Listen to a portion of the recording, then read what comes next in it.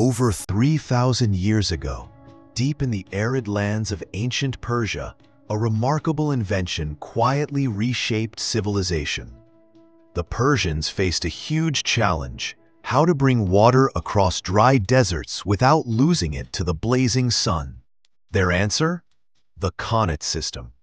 Qanats are gently sloping underground tunnels that tap into highland aquifers, guiding cool groundwater beneath the Earth's surface, sometimes for miles.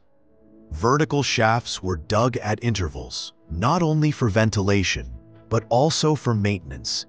This design protected the water from evaporation, making every drop count.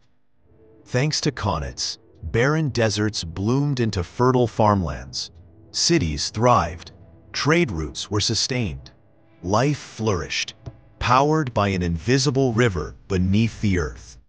The brilliance of Qanats didn't stay in Persia. Civilizations across the Middle East, North Africa, and Central Asia adopted this sustainable technology.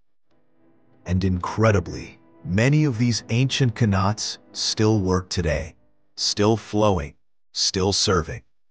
In a time when the world searches for sustainable answers to water scarcity, the wisdom of the ancients whispers to us from beneath the sands. The Qanats of Persia, timeless proof that innovation and harmony with nature can go hand in hand.